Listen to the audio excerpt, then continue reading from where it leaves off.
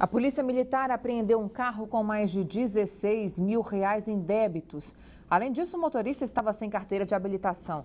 As notificações são por falta de pagamentos de PVA, multas, licenciamento e seguro obrigatório. A apreensão setor, foi no setor de Clube Sul durante uma blitz na noite de ontem. O carro foi levado ao depósito do Detran e só poderá ser retirado depois que as multas forem pagas. O Corpo de Bombeiros está investigando a conduta do sargento Noé de Albuquerque, suspeito de participar de um racha que matou mãe e filho em um acidente neste domingo. Na internet, a mulher de Ricardo Caires, morto na tragédia, fez um desabafo e cobrou justiça. Pela internet, Fabrícia de Oliveira lamentou a morte da sogra e do marido. Ela pediu justiça e disse que acabou morrendo junto com eles. A mulher também demonstrou revolta com os depoimentos dos dois motoristas envolvidos no acidente. O sargento do Corpo de Bombeiros, Noé de Albuquerque, se apresentou na delegacia nesta segunda-feira. Ele admitiu que tomou uma lata de cerveja, mas negou que estivesse disputando um racha. Afirmou ainda que parou para ajudar a socorrer os feridos, que não fez o teste do bafômetro e disse que logo depois do acidente deixou o local para levar a mulher ao hospital. O outro envolvido, cunhado do militar, também foi ouvido pela polícia. Heraldo Cavalcante Pereira dirigiu o carro que bateu na traseira de outro automóvel e provocou a morte de mãe e filho. Ele fugiu do local de carona, sem prestar socorro. A polícia investiga se os dois participavam de um racha. Os suspeitos passaram o domingo em uma lancha no Lago Paranoá e, segundo testemunhas, por volta de 7 horas da noite, seguiam em alta velocidade nesta avenida quando o acidente aconteceu.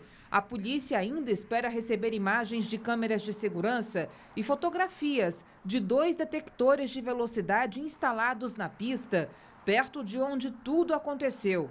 Cleusa Maria Caires e o filho dela, Ricardo Caires, estavam no banco de trás e morreram ainda no local. Olha, uma ligação direta, clara, entre o caso da mulher bêbada que atropelou e matou um ciclista e essa tragédia, uma semana depois, em que criminosos do volante mataram a mãe e o filho. O que há em comum entre os dois crimes é a garantia da impunidade. Se a lei fosse mais dura e, por exemplo, mantivesse presa aquela bêbada que matou o ciclista, certamente os outros delinquentes não se meteriam a beber e a dirigir ou a participar de um racha.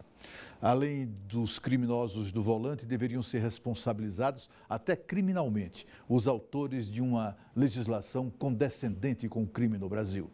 A bêbada assassina pagou 5 mil merrecas de fiança e foi para casa. Agora, os suspeitos de homicídio do trânsito se entregaram, mas a lei proíbe o delegado de dar voz de prisão a quem se apresenta à polícia. Que coisa triste e revoltante é viver num país em que suspeitos de homicídio não são presos nem mesmo quando se entregam à polícia. Em quatro meses, o Detran multou quase 489 motoristas por prática de rachas aqui no DF. As informações com Cláudio Marcos, direto do estúdio da Band News FM. Cláudio, boa noite para você. Tem campanhas educativas para combater esse tipo de conduta?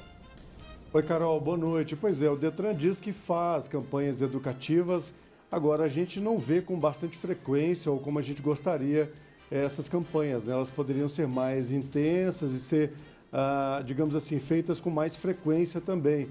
Justamente, Carol, para a gente reduzir estatísticas como essa que você falou. E se a gente compara com dados do ano passado, somente no ano passado foram 1.400 infrações desse tipo aqui no Distrito Federal. Comparando com dados de 2017 até agora, já temos aí um crescimento de 5% nesse tipo de infração. Então o Detran diz que aumentou esse monitoramento, que aumentou a fiscalização e por isso os números cresceram também. Agora o Detran também diz que faz um levantamento desses locais onde acontecem os rachas aqui no Distrito Federal. Eles dizem ter um mapeamento desses pontos. Agora, qualquer pessoa que ouça, que saiba de um racha, pode acionar a polícia através do telefone 190, Carol. O que é muito comum, né? Às vezes acontece é misturar o racha, que é proibido e é perigoso, com a bebida alcoólica e aí complica, né? Coloca a vida da própria pessoa e de outras pessoas em risco. Por isso que a fiscalização tem que ser intensificada e a, a, a, a conduta tem que ser, de alguma maneira, é, punida, né, Cláudio? Exatamente. Aí já são dois crimes, né? A beber e dirigir é um crime e a prática do racha também é um outro crime que, infelizmente, termina em acidentes, em tragédias, como a gente falou agora há pouco, que resultou na morte da mãe aí de 69 anos e do filho dela naquele acidente lá na L4 Sul, viu, Carol? Obrigada, Cláudio. Esse caso está sendo investigado ainda, a gente aguarda o resultado, né? Obrigada, boa noite para você. Aqui na Band você tem um canal direto para fazer denúncias, mandar vídeos e mostrar os problemas aí da sua cidade. Você já sabe, né? É o WhatsApp do Band Cidade. Então anote aí o nosso número: 999769204. 999769204. Veja a seguir, 1.600 pessoas já emitiram a identidade jovem aqui no DF. Benefício de inclusão cultural é concedido a brasileiros de baixa renda. Depois do intervalo do Band Cidade. Até já.